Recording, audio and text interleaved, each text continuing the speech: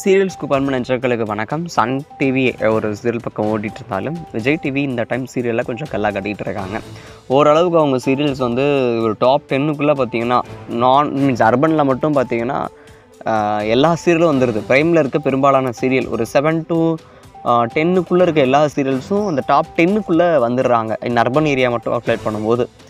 அப்படி இருக்கும்போது இப்போ விஜய் கல்லா கட்டிகிட்டு இருக்கு அந்த சீரியல் மகாநதி. இந்த சீரியலை பற்றி சொல்லணும்னா ஒரு சூப்பரான ஸ்டோரி லைனில் ஆரம்பித்தாங்க மொதல் ஆரம்பிக்கும் போது அப்படியே பெஸ்ட் பிரேசிங்காக பிக் பாஸ்குள்ளெல்லாம் போய் மிரட்டி விட்டுக்கிட்டு இருந்தாங்க. பிக் பாஸ்குள்ளெலாம் போய் ப்ரொமோஷன் பண்ணாங்க அந்த சீரியலுக்கு அப்படி இருக்கும்போது இந்த சீரியலுடைய ஸ்டார்டிங் ட்ராக்கு சூப்பராக ஆரம்பித்தாலும் போக போக ஆடியன்ஸுக்கு கதை பிடிக்காமல் போச்சு. அடுத்து வந்து அவங்கக்கிட்ட இருந்த ஸ்லாட்ஸ் எல்லாமே போச்சு. கடைசியாக அவங்க வந்து நின்ற ஸ்லாட் வந்து நான் ப்ரைம் டைமுக்கு போகலான்னு இருந்துச்சு. ப்ரைம் டைம்லேயே ஒரு ஸ்லாட் கிடச்சது.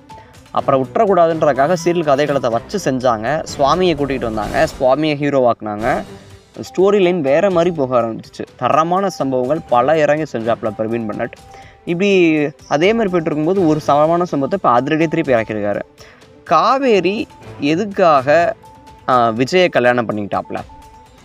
அந்த ஒரு விஷயத்த மீன்ஸ் அந்த காசு விஷயத்த கங்கா அழகா கங்கா கிட்ட சொல்கிற மாதிரியான ட்ராக்கை அழகாக எடுத்து அதிரடி கட்டியிருக்காரு டேரக்டர் இதை பற்றின உங்களோட ஒப்பீனியனாக கமெண்ட் செக்ஷனில் ஷேர் பண்ணுங்கள் மக்கள் எங்களோட பாய்.